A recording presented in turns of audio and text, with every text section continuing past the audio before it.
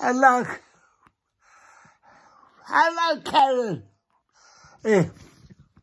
It's uh, Barry from Watford here. She's in the back. Here.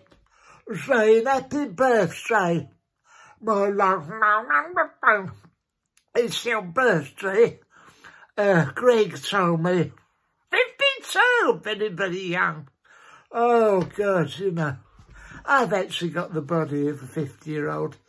She's under the floorboards in my... Only go, only little chap. Karen, happy birthday. I'm I'm looking the wrong place. Greg told me all about things. He's like a murder documentary, but know, lovely cheering, isn't it? Cheering as if there wasn't enough misery. Uh, I hope you've been getting on well in your house. Enjoy the old minty biscuits. Lovely minty, not the orangey ones. A, a, a, a, a, a chocolatey minty, it's a chocolate affair. Chocolate and minty biscuit. And it's crunchy. A crunchy, isn't it? It's got that toothpaste in the middle. Karen, happy birthday. I also understand you don't like pigeons and uh, you're frightened of polystyrene.